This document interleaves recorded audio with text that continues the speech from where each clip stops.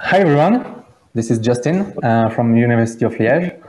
And thank you for attending this presentation uh, on IOAM and on its implementation with IPv6 as an encapsulation protocol. If you don't know about IOAM, don't be afraid and please don't go because I'm going to introduce you to it just right now. So what is IOAM? I hope you're still there and you didn't leave. So IOAM means in situ operations, administration, and maintenance. So basically, this is just an in situ uh, OAM technique. And the term in situ here refers to the fact that data are recorded within packets. So data are part of headers, not part of the payload, right?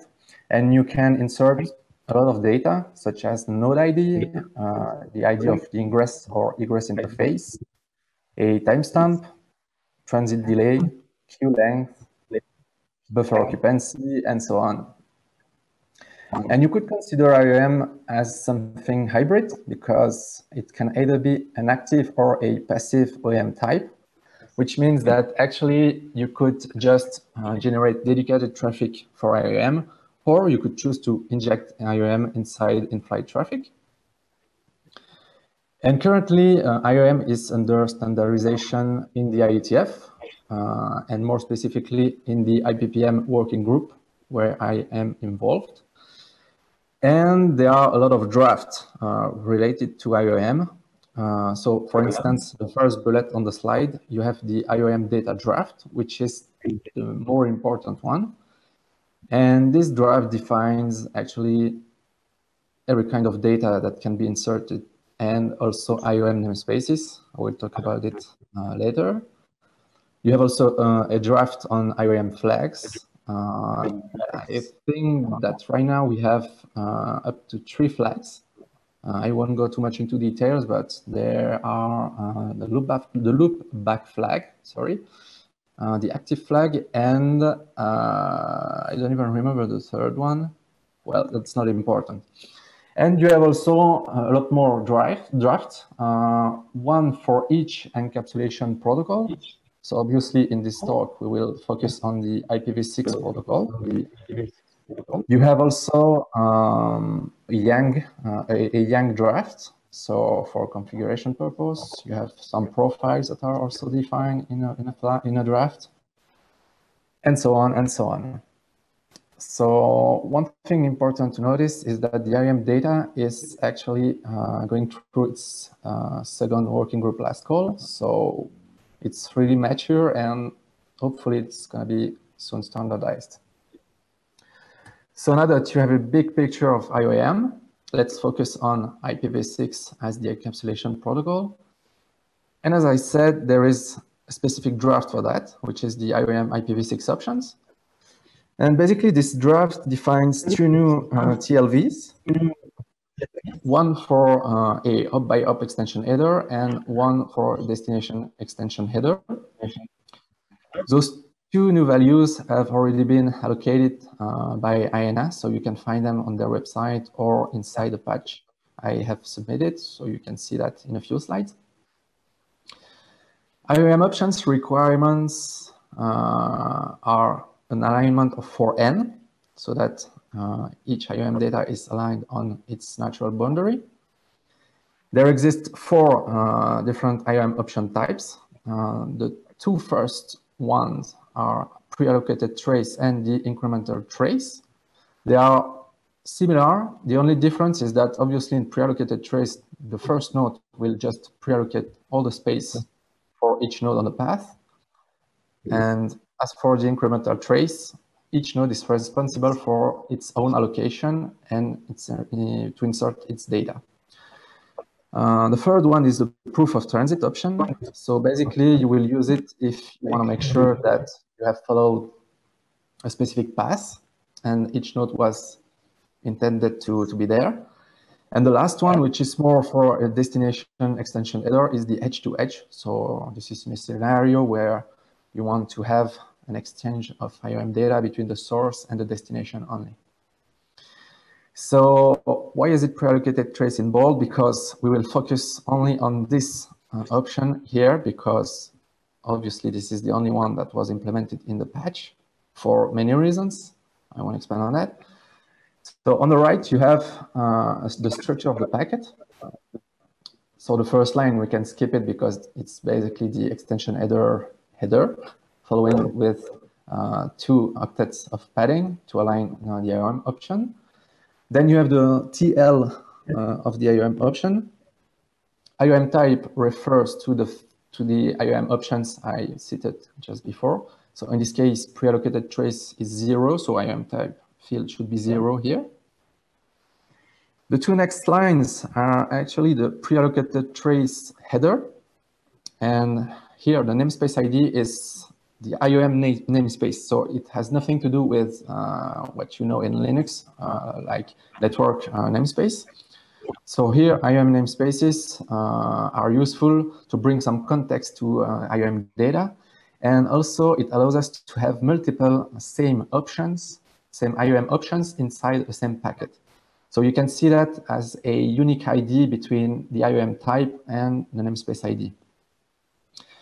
Following the namespace, you have the node len and remaining len. So this is just two, um, two values that allows a node to know the length of the data it has to insert and what, uh, what space is left.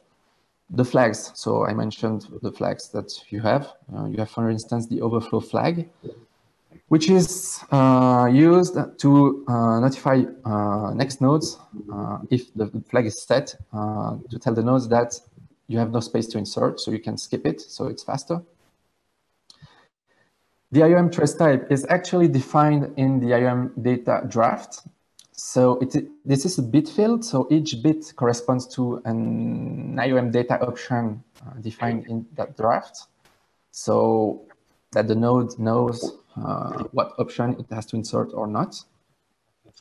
And then you have each block of data for each node.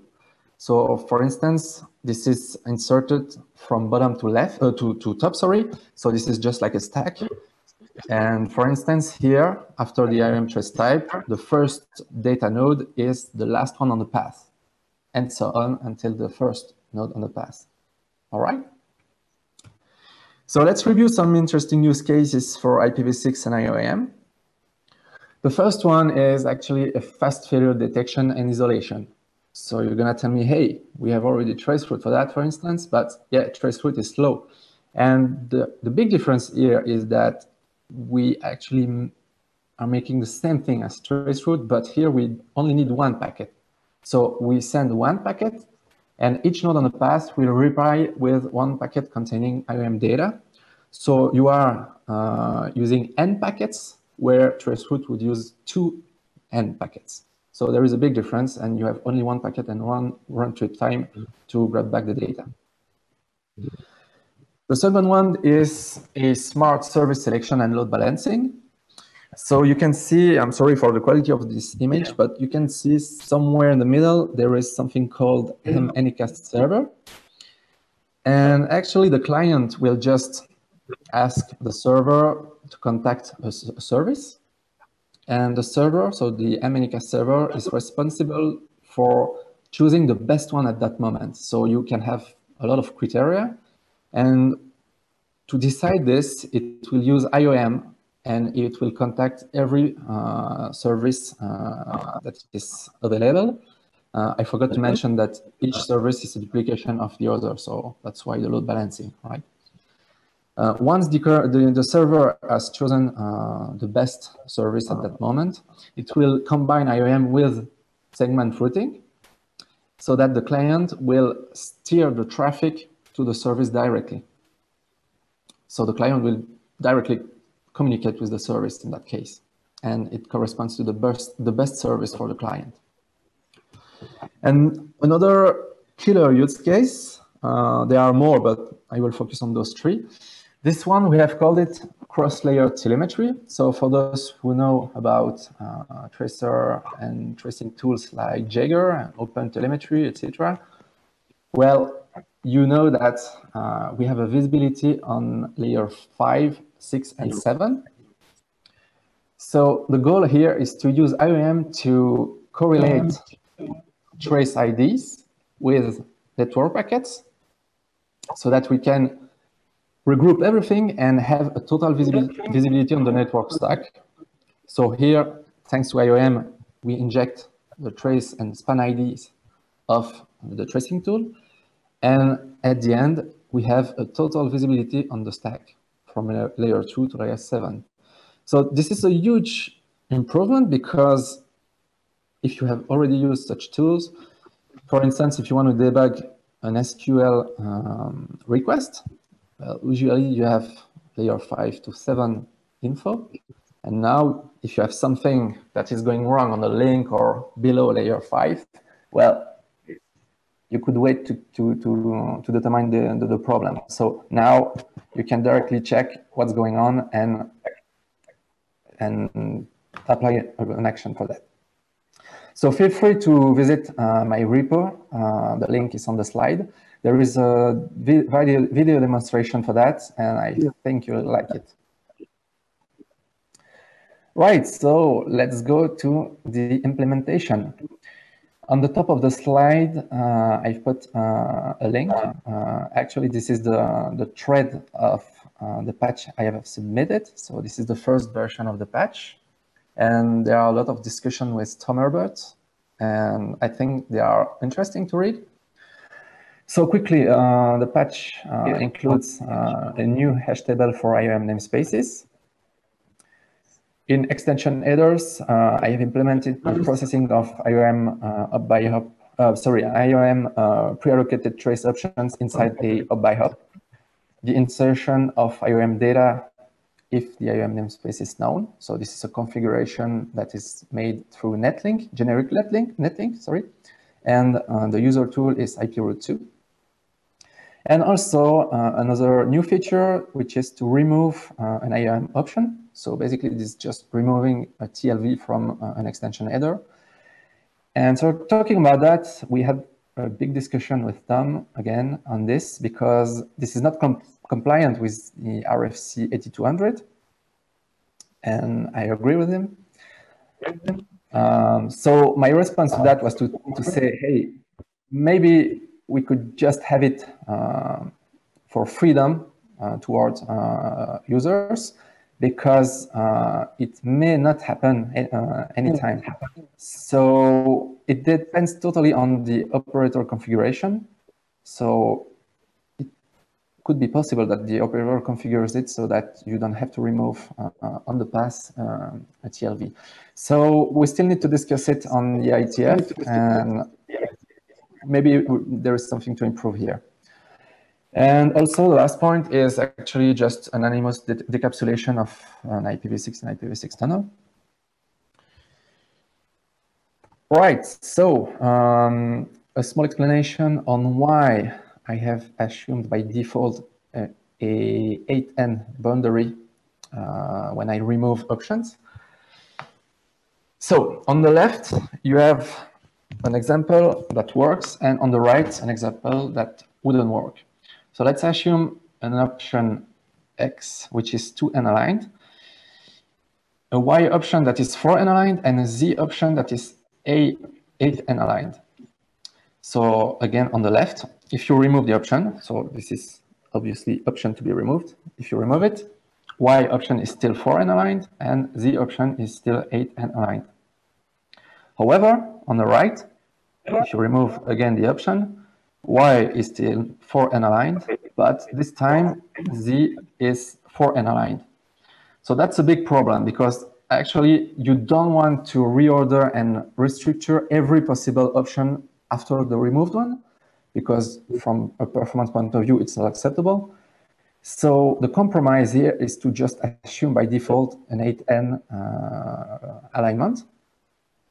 And the price to pay, if I can call that that way, this is small price, but the price to pay is that you may have at most four uh, octets of padding that would be useless. And I think this is quite acceptable because it's the fastest processing. But again, maybe we won't need this. It depends on if uh, we keep uh, the removing of uh, an option or not.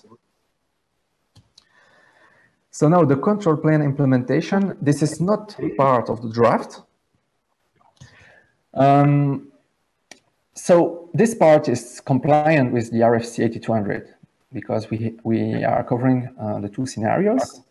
The first one is ingress to ingress, ingress to egress, sorry.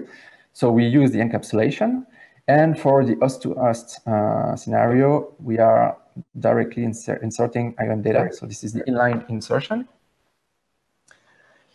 There is a representation uh, on the graphic below uh, of an IOAM buffer, which is this, there is no magic. This is just uh, the representation of an extension header, in this case, uh, hop by hop, with uh, IOAM options next to each other. So my question is, uh, this is the open question right now. What should we do with that? So currently in my personal uh, implementation, I have it stored in uh, network devices directly. So there is a new field in the net device structure but again, I'm not sure this is the best choice. So here are some choices I could think about. The first one would be to use lightweight tunnels and route netlink so that um, IOAM the IOAM buffer uh, would be attached to a root. That could be discussed because I'm not totally convinced that having a, a buffer, the IOAM buffer attached per, per root would be meaningful? I don't know. Uh, we have also uh, the possibility to use generic netlink. So as for the first part, and there we could store, as it is right now, directly inside the uh, structure of uh, net device, or we could store it somewhere else. So I'm all here if you have ID. And there is also a third possibility, which I didn't mention on the slide, which is another solution if you have another one. So again, if you have an intuition or something, feel free to speak and I'll be glad to hear you. Let's uh, review some early results uh, from a performance point of view. And I guess that Tolkien fans will appreciate the testbed. So Gimli uh, on the extreme left is the traffic generator and Legolas is the traffic receiver. Merry and Pippin are respectively the ingress and the egress of the IOAM domain, and Sam is just an IOAM node on the path. So what happens here is that Merry will receive traffic from Gimli. It will encapsulate it. So we have now an outer IPv6 header and an inner IPv6 header. So we don't touch the user traffic. And the IOAM data will be inserted inside the outer header. And then Merry, Sam, and Pippin will insert their data uh, after each one. And Pippin finally will decapsulate the packet. And so Legolas will receive the packet untouched. So this is the scenario we measured here. And obviously on the left graph, you can see that with big packets, so in this case, it was MTU sized packets, um, 1500 uh, byte packets, Actually, it is um, 1236 byte packets, but when we insert IOAM data, it's the MTU size. So with big packets, there is no such high drop. But with small packets, 78 byte packets, you can see the variations. Uh, so it's logical because the, the kernel is more stressed. So we will use it as a base. Uh, so small packets as a base because you can see uh, what's going on better. And we are going to vary some parameters. And on the right graph, we first vary the frequency of IOAM insertion. So obviously, uh, having 100% uh, of insertion is not good. So that means that you insert IOAM at every packet you see. And we have the same test for 50, so 1 over 2, 25, 10, 5, etc., etc. So from the graph, you could tell that 10% or 25% would be acceptable. So that could be an advice to an operator, but again, that depends of a lot of parameters. On the next two graphs, we vary the number of IOAM options, and then on the right, we vary the number of IOAM namespaces. So a namespace brings more overhead than an option. So on the left, you can see that until the eighth option, it's okay. We don't lose anything. And up to the nine, we start dropping. So there is a logical explanation to that. And we are around an overhead of uh, 200 bytes. And my intuition is that it's actually because of an implicit re reallocation of the socket buffer because there is no space anymore uh, to insert the data. And that would explain uh, such high drop uh, starting from the ninth option. And we could have the same reasoning uh, for uh, the graph on the right. So when we vary the number of IOAM namespaces, and let me count, one, two, three, four, five, six, it starts dropping um, starting from the sixth one and especially after the sixth one. So it corresponds actually to the same overhead uh, we have observed previously on the, on the left graph, which is around uh, 200 uh, bytes. So I guess this is this is the explanation, and I will try to dig deeper to see if there is something more. Actually, there is another uh, explanation, but I don't think this is a problem. For each namespace, there is a lookup in the hash table. So the more namespaces you have, the more lookups you have. But again, it should be or one operation because the hash table is uh, optimized for that and shouldn't be any collision. So that's the explanation for now. From those results, uh, we could advise operators to have a mix uh, which is uh, more real for uh, a, a more real example for real life. So we could have, for instance, a frequency of one or two percent with five or six options with four or five namespaces, it would work. And this is uh, a, re a, representation uh, during uh, line rate. So the server was under heavy load. So you could also adapt the, the frequency of insertion depending on the traffic you, you are seeing at that moment. So you can have a dynamic threshold, for instance. That's an idea.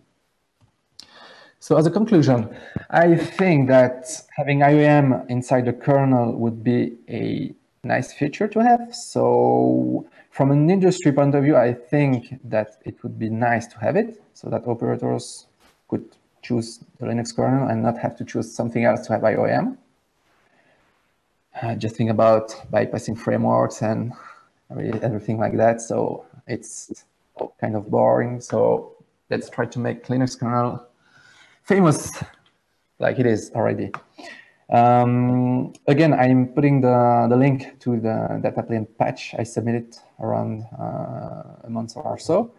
So you can follow the, the thread and read interesting um, discussion with Tom.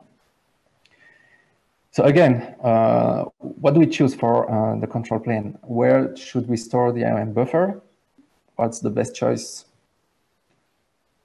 Again, I'm all here. And a final word on the IETF. We have already run a project on IOAM and IPv6 during uh, the hackathon last year with Tom, and it was actually fun and a success. So we could eventually make another one. So if we do, let's let's have fun together. So feel free to join. And we may have requirement for some help on some details. So for instance, uh, in IOAM data, we have uh, to retrieve um, the queue length of the egress interface. So until now, I didn't succeed it. So maybe we can help, you can help me and we could work on everything and improve everything. So feel free to join. So I guess I was a bit fast. No, it's okay. So thank you again. Um, feel free to contact me. There is my address. Um, and feel free to ask me direct live just now. Thank you again. Bye-bye. Okay. Uh, thanks, Justin. Um, so one, one comment I'd like to make on the uh, appeal to uh, get people to work on this and the IETF hackathons. I would point out that um, for those of you who might be kind of newbies uh, to Linux development um, and want to get into it, this this is a, a, sort of project that's really good for that. It's somewhat standalone, but it also leverages uh, several of the APIs, and it raises some interesting questions like the IOAM buffer. Um, we have several techniques, and and this is a case where finding that right technique actually requires interaction with the community. So it's uh, it's a really good project for that point of view. So I do encourage people um, looking to get into development. Uh, this is a really good project uh, for that. Uh, that being said, we do have some questions. Uh, so first of all, and I think there was some discussion on this, but but how is the loopback flag actually used? Well, mainly for um, the faster trace route. So you could imagine having some, some other use case, I don't know. But here it's mainly for the faster trace route. So when, when we're using this, does this run the risk of um, any sort of packet amplification attacks? Yeah, as I said, this is still under discussion uh, in the working group, so uh, that every aspect of security is covered because um, there were there were some problems with that. So currently, so, this is not used uh, in implementation right now. So I, I, would clarify. So the in situ um, part of IOAM means that this is really in-band data. So we're annotating the actual packets carrying the data. And there are alternatives being proposed. Um, obviously, if we're putting data into packets for measurement, that's affecting the size of the packets. Yeah. And people do notice that. And one thing we're seeing is IOAM, segment routing, these potentially are really big headers. And that starts to become a problem, especially for hardware devices that uh, aren't, aren't, aren't able to process those headers. And we also have other problems along these lines. So even getting extension headers through uh, devices has been a little bit of a challenge. Uh, fortunately, IOAM is usually constrained to a, a, closed domain where we can control things like that.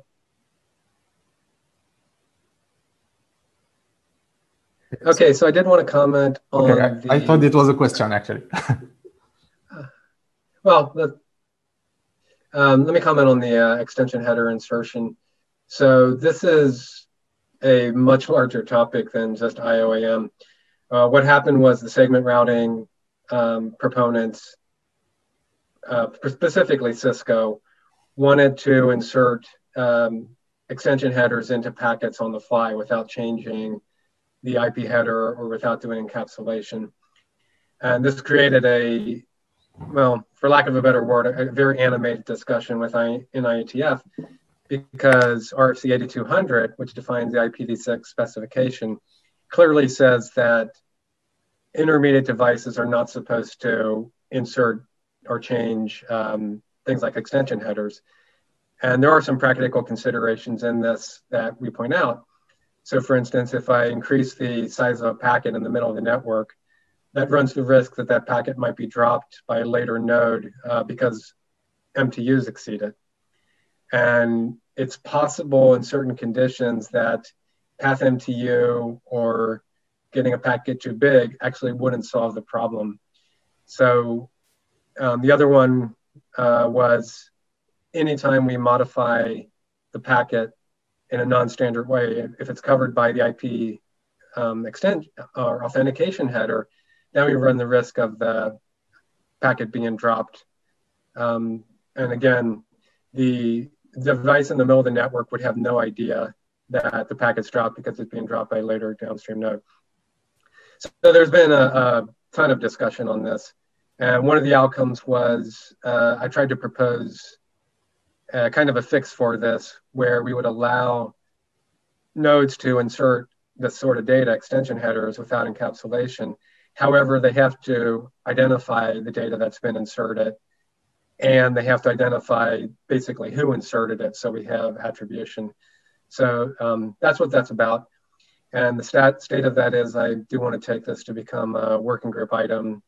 And I, I think it's a good compromise between, on, on one hand, we have the, the zealots of IETF who um, we'll jump up and down whenever we're violating uh, a full internet standard, which RFC 8200 is, versus a pretty large contingent of uh, vendors and operators who, who want to do this. And there are some valid reasons. Actually, I think IOAM is a much more valid reason than even segment routing for some reasons. So I'm hoping to uh, push that and subsequently get some patches upstream. So I think, I, Justin, I think it is possible, um, but we have to do this in the right way. Uh, and the, the thing here is this isn't really just about Linux. What we have to be careful of is setting the precedent, and we don't want um, the router vendors pointing to us and say, if they're doing it, we can do it. So we really want to do things right in Linux, and um, that's why I think we need to be careful about uh, slipping in um, patches that circumvent RFC 8200. In all fairness, segment routing already does this, but we'd, we'd also have to fix that. Well, as a side note, um, maybe we could just remove um, the feature to, to remove uh, an IOAM option. Um, so we could avoid this problem. Uh, anyway, I think your solution, your draft could be useful. Uh, maybe for the incremental trace, because each node would have to increase the space of uh, the extension header. So we could have something like a new uh, option in your draft. So I think this is something useful, interesting. Okay, so I, I, think in the short term that would be good, but I, I do want to get this in the long term um, because I think there's value in it. So uh, about the question you proposed to the community, um, thank you for proposing questions. I think that's really good. Uh, I guess my question in response to that is, um, what's the best way to, to proceed?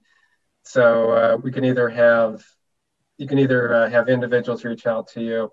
Um, if if it warrants it and we have enough interest, we could do a, maybe a, a breakout session on this. Um, yeah.